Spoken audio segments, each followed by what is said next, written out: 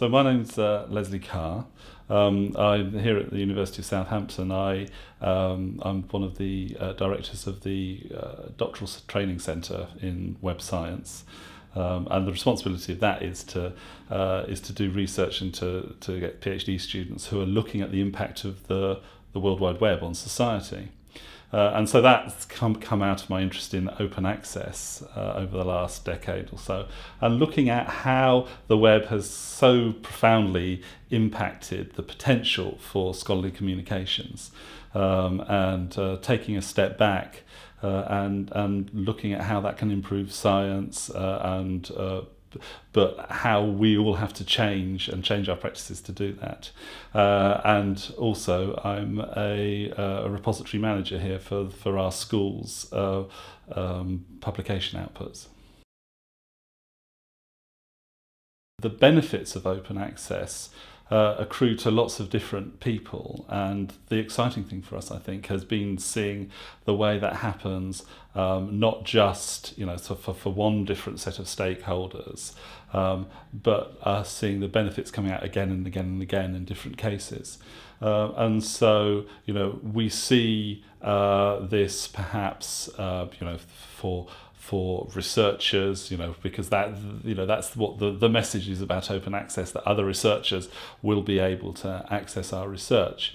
Um, and so, um, you know, we we put on each page um, in our repository, we uh, we have um, some graphs which show the the use and the, the number of downloads of a particular um, piece of research of the PDFs of the paper or whatever um, over time, for, so that people can people can see that and they can they can see how it's gone.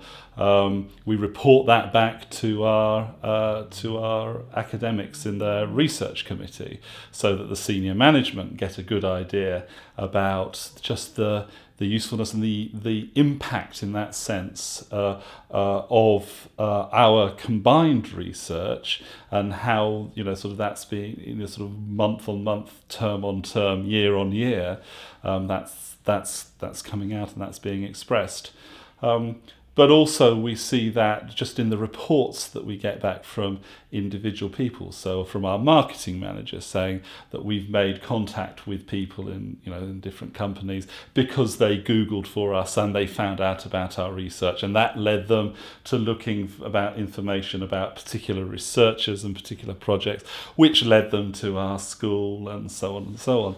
And we hear that about you know, people who are applying for PhDs uh, uh, people who are applying for uh, for doing their their undergraduate degrees um, and so we get reports back like this. These aren't necessarily things where um, we have, you know, sort of hard data and metrics, but you know, sort of when these, when this material comes back and filters back to individuals, it's the importance of anecdote really over analytics. So you use what analytical tools you have, and perhaps that might be Google Analytics, or it might be something that the repository does itself, as I just described.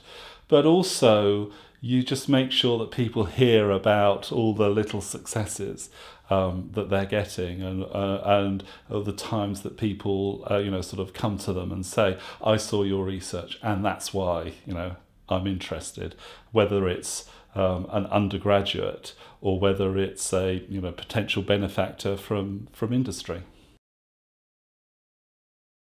Well, we've done a number of studies on the relationship between citations and downloads and open impact.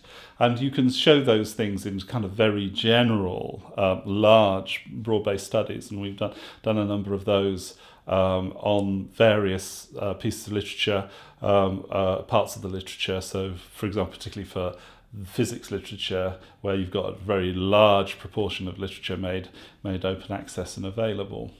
Um, other people have done lots of uh, lots of these studies as well, and we keep a, an up to date um, bibliography on our uh, on our sites uh, on, on on our ePrints homepage to show off to people the fact that you know sort of that that there is a lot of benefit to be gained from making material open access. Now, um, when it comes to individuals, you can find you can find people who say. Um, I put my uh, papers up into the repository, and then you know a year later I saw you know, sort of citations start to accrue, you know. Um, but for many people, it's just uh, it, it's not that it's not that straightforward. Some people, you know, will report that they have, uh, as well as citations, people citing their work. You know, they're getting invitations to come and speak. Um, and, uh, and so finding messages that, that, that, that speak to individual people are, are important. Of course, um, I think to people who are established as researchers and research practice and their methodologies, you know, to them, the idea that the web and, and reading things on the web could influence citations is is all seems all to be a bit mystical. But to people who grew up with the web and you know the much younger researchers, it all seems to be a bit obvious. You know that how else are people going to read these things? How are people going to cite me unless they've unless they've read my work? You know, and so uh, and so we um, we do um, show people in our repository. Uh, we show them both the number of downloads a paper has got and the number of citations uh, that are being reported uh, uh, by Google Scholar and by um, Thomson ISI. Our school is I was going to say our school is a special case. Of course, every school is a special case, and that's one of the real challenges of open access. It's the fact that you can't, uh, that although there are some general lessons to be drawn, you actually have to approach each school, each discipline, each sub-discipline as you know on their own terms and find out what their cultural expectations are. So our cultural expectations within a school of electronics and computer science, these are people who are very technology friendly, very technology savvy. And so it doesn't take much to encourage them to you know sort of to use a computer to use a web browser to to put their to, to put their work up um, online and certainly for the students this is a this is quite a natural um, phenomenon we don't have a, a disciplinary history of worrying about the internet. You know, computer scientists, of course, who have been using the internet you know, sort of since its early days, and with FTP and putting postscripts of their printed papers up. Um, and so to them, the issue of you know sort of, of sharing and privacy and, and the worry about their academic work is much less. So we have we don't have um, a, a deliberate advocacy program within our school. Uh, what we do have is a legacy of um, the the kind of pioneering policy work from a decade ago that people like Tony Hey and Professor Wendy Hall did with our department, where they said, where they kind of converted us to open access um, uh, and gave us a policy of open access um, almost overnight. Um, and so after working that in for uh, a year or, or more, it's pretty much been automatic or down or you know sort of people are, are are much more happy to follow that. It took a number of years to get to that position, and I've had professors come up to me and tell me, "Over my dead body, will I use your repository?" And then come back six months later and say, "Actually, it's very useful, isn't it?" Um, and so that kind of you know sort of that kind of ability to to work with people and let them find their own time within you know a supportive senior management has actually been uh, uh, really good for us. And I you know not everyone is going to be lucky enough to find that. It all goes back to the beginning of the uh, what became the Open Archiving Initiative. Uh, and so we had some money from JISC as part of a, project under the um, electronic International uh, Digital Libraries um, uh, funding to, uh, to run a, a project with um, Cornell on you know, looking at um, making uh, a citation, effectively an early citation database. Um, and so the very first thing we did as that was to go to this meeting that that arXiv, as they were called then, um, or the Los Alamos archive, which is now arXiv.org, the physics um, uh, preprint archive, were were running um, in uh, Los Alamos, where they were trying to get together all the people who had these large um, subject-based repositories. So the, the physics people, e economists, um, cognitive scientists, you know, sort of various people from all over the place. And they say, well, how can we stop building these silos? How can we do something there where we can freely exchange this information? Um, and this was in 1999, so it was before you know sort of Google had come, and it was, it was very, uh, very popular. Um, and uh, and we just the idea for a technical way of sharing all this information came up. But at this meeting, um, it was very obvious that we needed to expand the, the list of people who were able to participate. So we put up our hands, Stevan Harnad and, and I, and we said, well, we will um, create a piece of software that other institutions, other universities, other departments can use to make up their own collections that they can share using this same, same infrastructure. And that's where ePrints was born. Um, and since then, you know, sort of it's, uh, well, I mean, that that's over 10 years ago now. ePrints is 10 years old, a decade. Um, and we have kind of moved through the idea of institutional repositories and um, and the whole, uh, you know, this is even before the, the, the phrase open access had re reached common acceptance. And so we've used this to create institutional repositories across the world as piece of open source software, um, uh, which we invite people to use uh, to uh, make open access for their research outputs, their teaching outputs, uh, for data, for multimedia, for all sorts of intellectual items that they, that they want to use. There have been a large number of, uh, of JISC funded projects that people across the UK, for example, have been uh, have been creating new add-ons and, and, new features. We've been very lucky um, that uh, so so for example, groups uh, of people from arts institutions have been have uh, specifically looked at how to make open access work in the arts community, and so they've made their own extensions. Um, you know, we've been part of that. We're lucky to be part of that project um, that are, are, are, related to that particular kind of community. Um, and uh, you know other communities similarly, teaching and learning communities as well.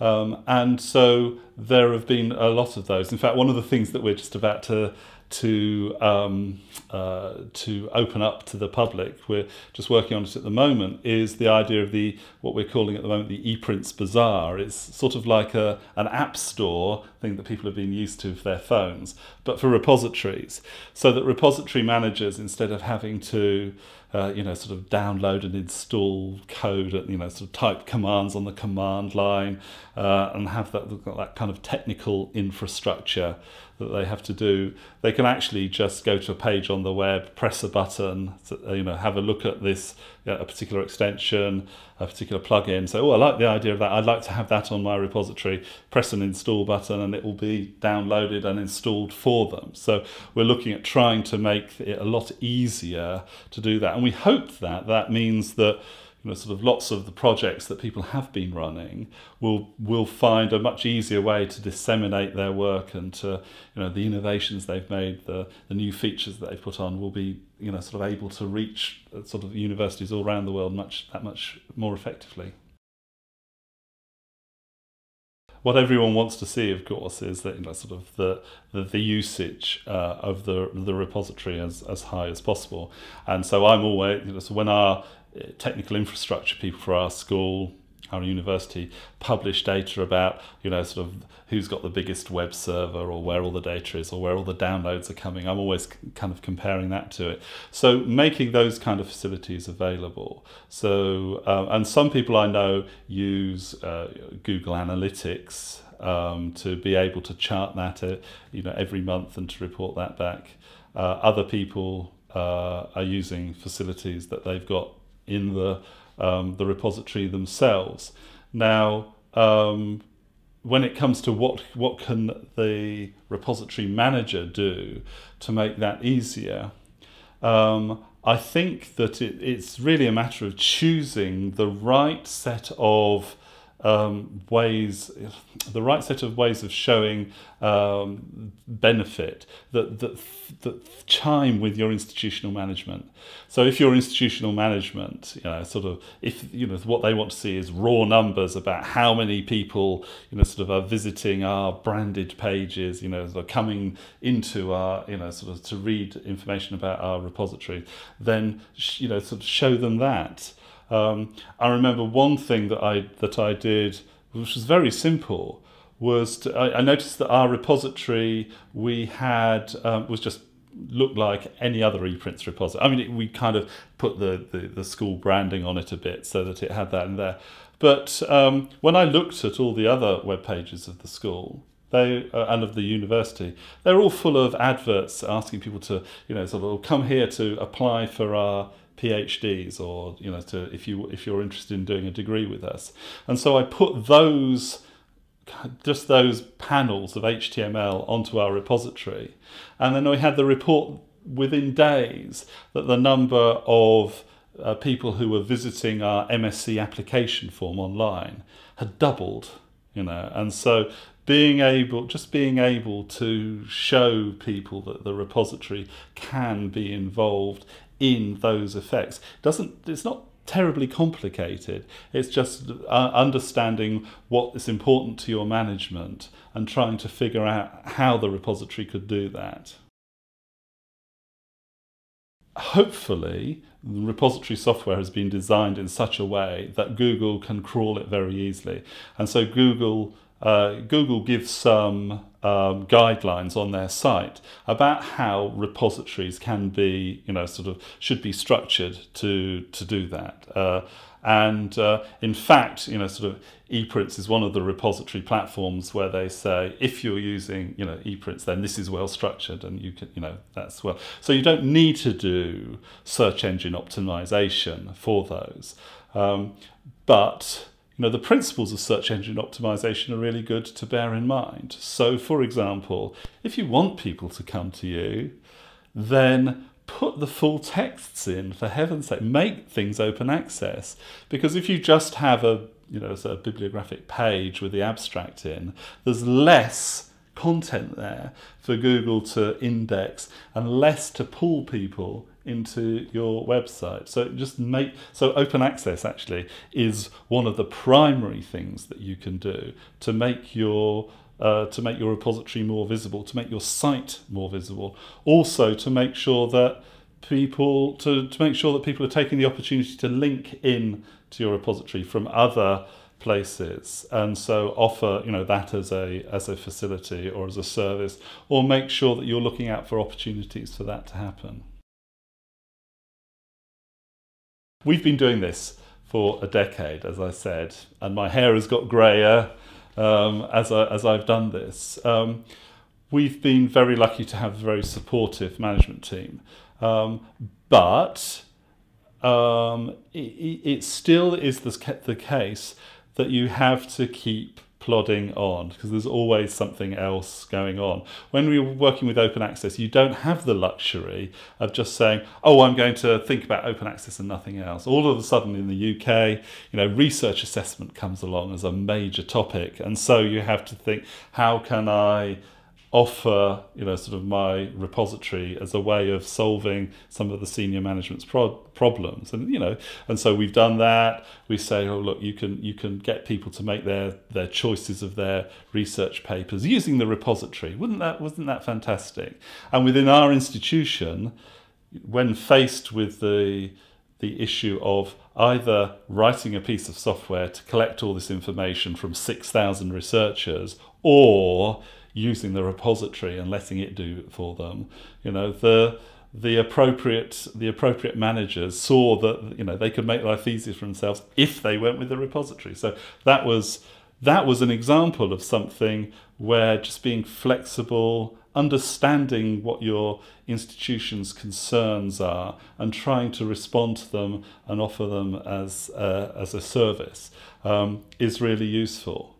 So my message to, to, to someone who's taking this up is um, you really need to just keep going. You know, uh, there's always uh, you don't have the option of just saying, "Oh, look, I, I did that. Uh, I pressed the button. I did. I, I, did those things. That's fine."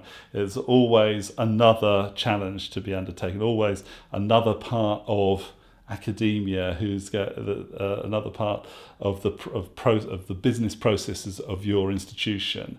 Um, where they're saying, "Help! How can we do this?" and you can say, "Oh, you know, sort of the repository can help you out here." Um, uh, so that you keep the repository, you know, sort of central in the in the institution's mind, really. So just just keep going and keep working with people, um, and understand that different people, whether they're administrators or researchers or students or librarians, have different views uh, and opinions about how you should be doing your job. So it's hard work, but it's very rewarding.